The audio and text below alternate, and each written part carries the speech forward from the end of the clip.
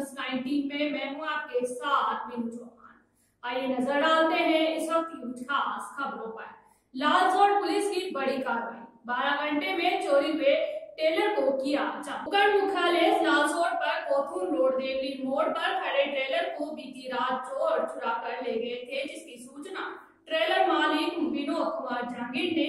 लालसोट थाने में रिपोर्ट दर्ज करवाते हुए घटना की जानकारी दी। लालसोट से न्यूज़ 19 के हमारे संवाददाता विष्णु आशीर्वाद की